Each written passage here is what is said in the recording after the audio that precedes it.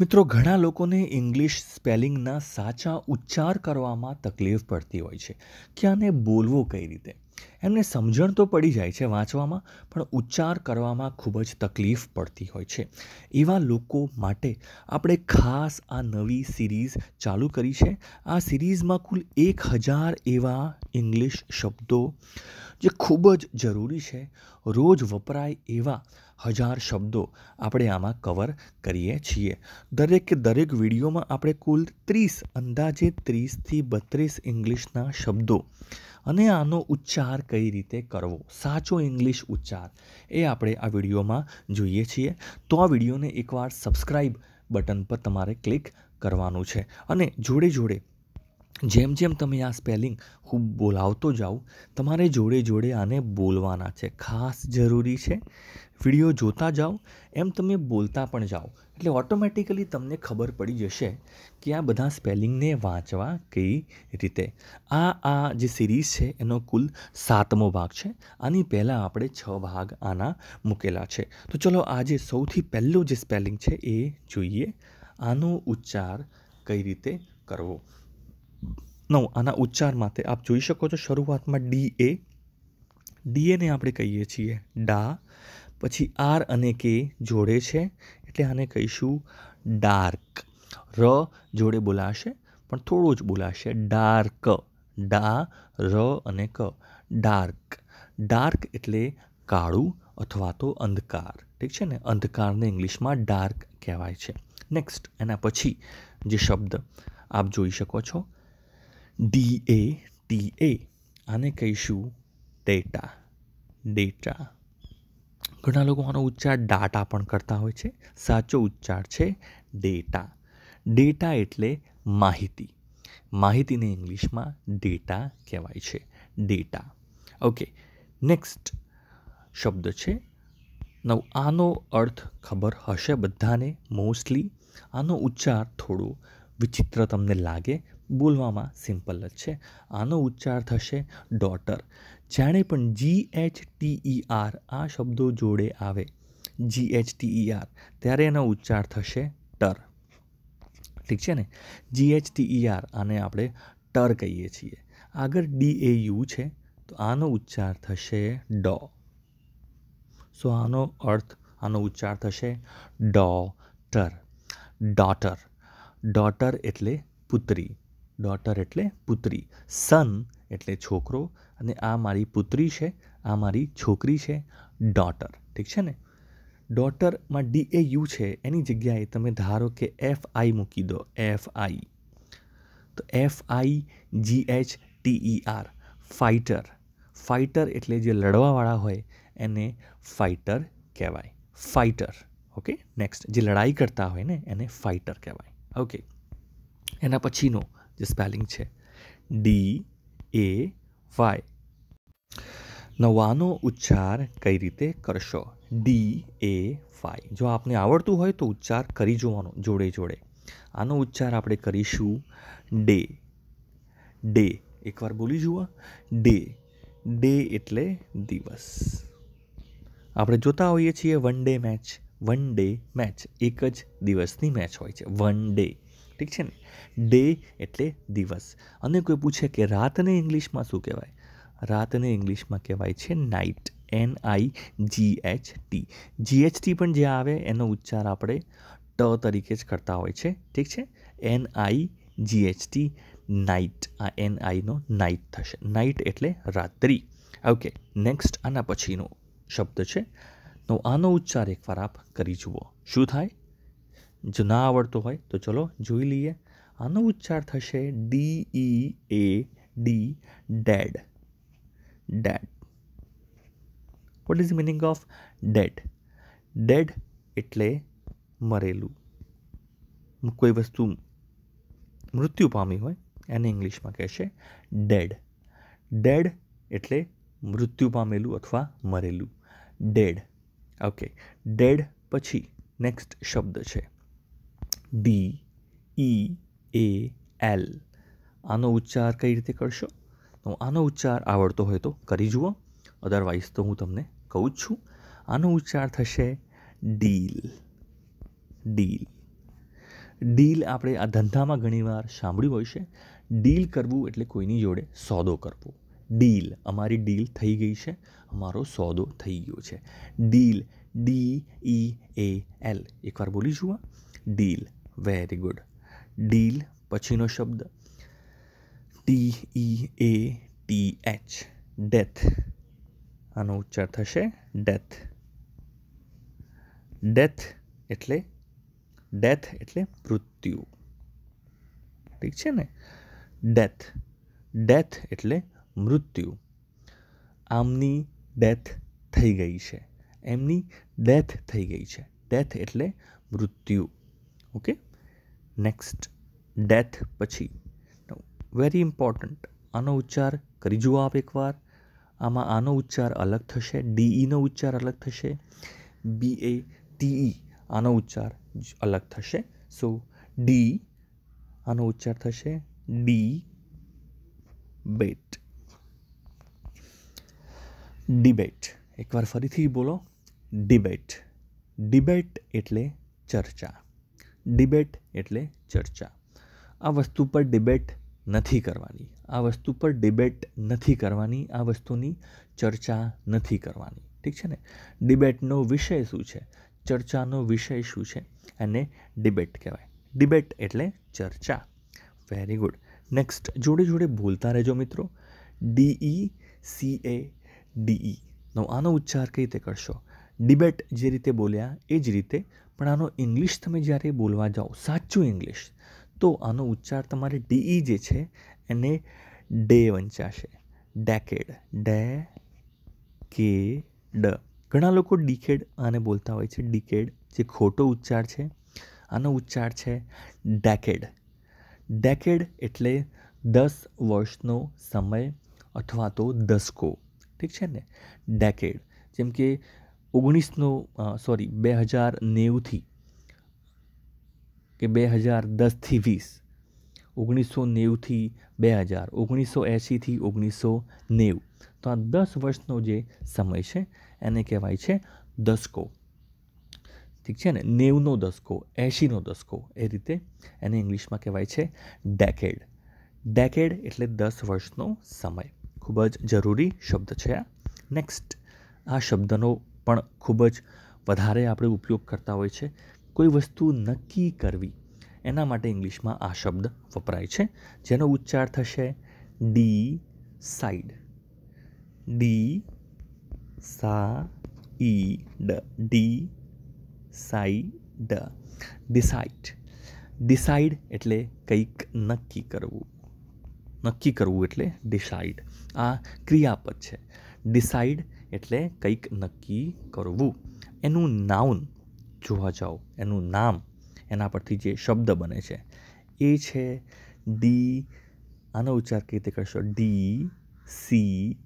Decision. S I O N જ્યારે B આવે, એને આપણે કહીએ છીએ ઝન. ઠીક છે ને? સો આનો ઉચ્ચાર થશે ડી સી ઝન.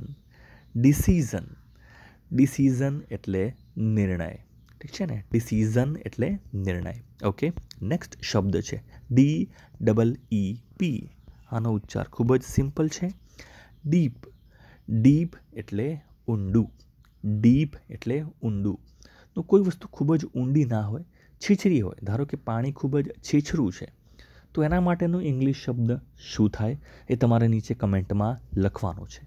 ઊંડું હોય તો ડીપ આનું વિરોધી છીછરું. એને ઇંગ્લિશમાં શું કહેવાય? કમેન્ટમાં એકવાર લખો, હું જોઈ લઈશ. નેક્સ્ટ આના પછીનો શબ્દ. D E F E N S E D E F E N S E defence defence defence એટલે રક્ષણ, રક્ષા. ઠીક છે ને? ડિફેન્સ બોલો એકવાર ફરીથી. ડિફેન્સ ઇંગ્લિશમાં ડિફેન્સ એટલે રક્ષણ રક્ષા. ઠીક છે ને? ડિફેન્સ મિનિસ્ટ્રી, જેમ દરેક ખાતું હોય છે ને, ફાઇનાન્સ મિનિસ્ટ્રી, નાણાં મંત્રાલય, ડિફેન્સ મિનિસ્ટ્રી, રક્ષા મંત્રાલય. એ રીતે સરકારમાં એનું આખું અલગ વિભાગ હોય છે, ડિફેન્સ મિનિસ્ટ્રી. ડિફેન્સ એટલે રક્ષણ, રક્ષા. Next, degree. D E G R double E, degree.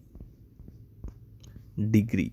D E G R double E degree ડિગ્રીનો મતલબ એક તો સૌથી વધારે વપરાય છે પદવી. પદવી, તમે શું ભણેલા છો? તમારી જોડે ડૉક્ટરની ડિગ્રી છે, વકીલની ડિગ્રી છે એન્જિનિયરની ડિગ્રી છે. એ રીતે ડિગ્રી શબ્દ વાપરીએ છીએ. ડિગ્રી ઓકે ડિગ્રી પછી નેક્સ્ટ જે શબ્દ છે ડેમોક્રેટ એકવાર બોલી જુઓ. Democrat Democrat. લોકશાહીને લગતું જે પણ હોય, અથવા જે વ્યક્તિ હોય લોકશાહીને લગતો, જેમ કે અમેરિકામાં જે આખી ડેમોક્રેટિક પાર્ટી છે, એ પાર્ટીના જે માણસો છે, એને કહેવાય છે ડેમોક્રેટ. જે માણસ લોકશાહીને સપોર્ટ કરતો હોય, ઠીક છે ને? એને કહીએ છીએ ડેમોક્રેટ. અને લોકશાહીને લગતી કોઈ પણ પ્રક્રિયા હોય, ઠીક છે ને? એને કહેવાય છે ડેમોક્રેટિક. ડેમોક્રેટિક. ઠીક છે ને? ડેમો ક્રેટિક. ડેમોક્રેટિક એટલે લોકશાહીને લગતું. વ્યક્તિ નહીં, લોકશાહીને લગતી કોઈ પણ વસ્તુ હોય એને કહેવાય છે ડેમોક્રેટિક ડેમોક્રેટિક મેટર, લોકશાહીને લગતી બાબત. ઓકે નેક્સ્ટ એના પછીનો શબ્દ. આનો ઉચ્ચાર આપણે કરી જોવાનો છે describe. S C R I B E scribe. Scribe word આખો અલગ પણ છે. સ્ક્રાઇબ સ્ક્રાઇબ એટલે કંઈક લીટા કરવા. ઠીક છે ને? સ્ક્રાઇબનો મતલબ થાય છે કંઈક નોટબુકમાં જે લીટા કરતા હોય ને નાના છોકરાઓ. એને સ્ક્રાઇબ કહેવાય છે. એ સ્ક્રાઇબની આગળ આપણે ડી મૂકી દઈએ. ડિસ્ક્રાઇબ તો ડિસ્ક્રાઇબ કરો છો મતલબ તમે એને સમજાવો છો, એના વિશે વર્ણન કરી રહ્યા છો. વર્ટન વર્ણનને ઇંગ્લિશમાં કહેવાય છે. ડિસ્ક્રાઇબ ડિસ્ક્રાઇબ એટલે કોઈ વસ્તુનું વર્ણન કરવું ઠીક છે? નેક્સ્ટ આના પછીનો શબ્દ.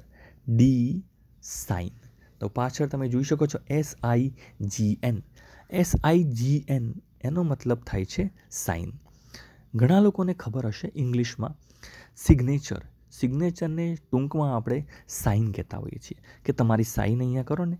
એ અર્થમાં જો તમે એસ આઈ જી એન લખતા હોય ને, કે સાઇન કહેવાય, એને શું કહેવાય? સાઇન તો ખાલી સાઇન તમે લખતા હોય એસ આઈ જી એન તો સહી. તમારા હસ્તાક્ષર, સહીને ઇંગ્લિશમાં સાઇન કહેવાય. પણ જો આગળ તમે ડી મૂકી દેશો, તો જે શબ્દ બનશે, એ શબ્દનો ઉચ્ચાર ખાસ તમારે ધ્યાન રાખવાનો છે. Design. Design. T E S I G N. Design. આપણે ગુજરાતીમાં આને પણ ડિઝાઇન જ કહેતા હોય છે. ડિઝાઇન. ડિઝાઇન કરવું એટલે કોઈ વસ્તુને સુંદર રીતે આપણે દોરીએ અથવા તો કંઈક બનાવીએ. એને આપણે ડિઝાઇન કહેતા હોઈએ છીએ. નેક્સ્ટ ડિઝાઇન પછી જે શબ્દ છે, જે આપ જોઈ શકો છો, એ છે ડી સ્પાઇટ ડિસ્પાઇટ બોલી જુઓ એકવાર આને ડિસ્પાઇટ ડિસ્પાઇટ એટલે કંઈક હોવા છતાં. ડી સ્પાઇટ ડિસ્પાઇટ ડિસ્પાઇટ એટલે એમ હોવા છતાં. ઠીક છે ને? Okay next detail D E T A I L tail tail શબ્દ તો બધાને ખબર જ છે. ટી એ આઈ એલ ટેલનો મતલબ થાય છે પૂંછડી. ઠીક છે ને? પૂંછડી એટલે લાંબી હોય એને ઇંગ્લિશમાં આપણે પૂંછડી કહેતા હોય છે. ઠીક છે ને? પૂંછડી. ડિટેઇલ અને બોલીશું ટેલ ટેલ એટલે પૂંછડી. ડિટેઇલ સાચો ઉચ્ચારણ થશે ડી ટેઇલ ડિટેઇલ એટલે ખૂબ જ ઊંડાણમાં, ડિટેલમાં. ઠીક છે ને? ખૂબ જ વિગતવાર કોઈ વસ્તુને સમજાવી એને કહેવાય છે ડિટેઇલ. ડિટેઇલ પછીનો નેક્સ્ટ શબ્દ. Determine determine determine. ડિટરમાઇન. ફરીથી એકવાર બોલો. ડિટરમાઇન. ડિટરમાઇન એટલે કોઈ વસ્તુ કરવા માટે મક્કમતાથી ઈરાદો કરી લેવો. નક્કી કરી લેવું કે આ કરવું જ છે, એને કહેવાય છે ડિટરમાઇન ઓકે ડિટરમાઇન પછી નેક્સ્ટ શબ્દ, વિકાસ. વિકાસ કરવો. એને કહીએ છીએ ઇંગ્લિશમાં આપણે ડેવલપ ડે વો લ પ ડેવલપ સો ડેવલપનો મતલબ થાય છે કોઈ વસ્તુનો વિકાસ કરવો. ડેવલપ ઓકે આ ડેવલપ જે છે એ ક્રિયાપદ છે. ટુ ડેવલપ એટલે વિકાસ કરવો. નવ આનો શબ્દ તમે જોવા જાઓ આનું નાઉન તમે જોવા જાઓ તો નાઉન એનું આપ જોઈ શકો છો, એ છે ડેવલપમેન્ટ ડેવલપમેન્ટ ફરીથી એકવાર આ બોલવાનું છે તમારે. ડેવલપમેન્ટ ઓકે દેશનો વિકાસ થયો છે. દેશનું ડેવલપમેન્ટ થયું છે, એ રીતે આનો શબ્દ વપરાય છે. ડેવલપમેન્ટ એટલે વિકાસ. ઠીક છે? નેક્સ્ટ એના પછી શબ્દ. D I E. Die. Die. Die. D I E. Die, અથવા તો આને આપણે ડાય પણ કહીએ છીએ. ડાયનો મતલબ થાય છે મરવું. ઠીક છે ને? ડાય એટલે મરવું. ટુ ડાય એટલે મરવું. આનું નાઉન જે છે, જે આપણે આગળ જોયું death D E A T H આનું નાઉન છે, મૃત્યુ. ઠીક છે ને? ડાય એટલે મરવું. ડાય ફોર કન્ટ્રી દેશ માટે મરો. મરવાની તમારામાં તાકાત હોવી જોઈએ. Die to die for country next die પછી. ડિફરન્સ ડિફ અને આને આપણે કહીશું રન્સ difference difference difference difference એના જેવો જ ડિફરન્સ એટલે બે વસ્તુઓમાં જે ફર્ક હોય, એ ફર્કને ઇંગ્લિશમાં કહેવાય છે ડિફરન્સ તફાવત. તફાવતને ઇંગ્લિશમાં કહેવાય છે ડિફરન્સ આ બેની વચ્ચે શું ડિફરન્સ છે? એને આપણે કહીએ છીએ તફાવતને ડિફરન્સ એવો જ ઉચ્ચાર છે different D I double F R E N T different એટલે જુદું. લાઈફમાં કંઈક ડિફરન્ટ કરવું જોઈએ. ડિફરન્ટ એટલે બધા કરતાં જુદું કરવું જોઈએ. અને આ બેની વચ્ચે ડિફરન્સ એટલે તફાવત. ઓકે નેક્સ્ટ એના પછીનો શબ્દ છે difficult D I difficult difficult difficult difficult એટલે ખૂબ જ મુશ્કેલ. મુશ્કેલ વસ્તુને ઇંગ્લિશમાં ડિફિકલ્ટ કહેવાય છે. એકવાર બોલી જુઓ. Difficult difficult okay? ને ડિફિકલ્ટી આની પાછળ તમે ખાલી વાય મૂકી દો. ડિફિકલ્ટી એટલે મુશ્કેલી, ઓકે? સો આ વર્ડ યાદ રાખવો ખૂબ જ જરૂરી છે. ડિફિકલ્ટી પછી નેક્સ્ટ શબ્દ છે. Dinner D I double N E R dinner dinner આપણે રાત્રે જે ભોજન લેતા હોય છે, રાત્રિનું વાળું, રાત્રિનું ભોજન, એને ઇંગ્લિશમાં કહેવાય છે ડિનર હવે નેક્સ્ટ બે શબ્દો બાકી છે છેલ્લા, એ જોઈ લઈએ. Direction direction T I O N જ્યારે પણ આવે ને, એનો ઉચ્ચાર આપણે શન જ કરીએ છીએ. શન. સી છે એટલે આગળ ક પણ આવશે, ક અડધો આવશે. ડિરેક્શન ડિરેક્શન ડિરેક્શન એટલે દિશા. ડિરેક્શન એટલે દિશા.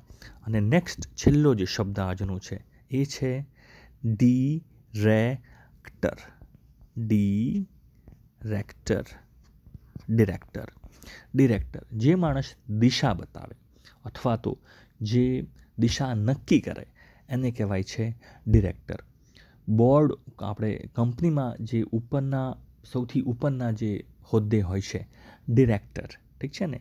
MD managing director. એ જ રીતે મૂવીમાં જે બનાવતા હોય છે, મૂવી જે મેઇન એનો જે નિર્દેશન કરતા હોય છે. એ મૂવી બનાવનારને પણ ઇંગ્લિશમાં ડિરેક્ટર જ કહેવાય છે. સો મિત્રો, આ હતો આજનો વીડિયો કેવો લાગ્યો તમને આ વીડિયો નીચે કમેન્ટમાં જણાવો. અને કંઈ પણ ખબર ના પડે, એ પણ કમેન્ટમાં લખો. મિત્રો જોડે આને શેર કરો અને ચેનલને સબસ્ક્રાઈબ કરવાનું ના ભૂલતા. Thank you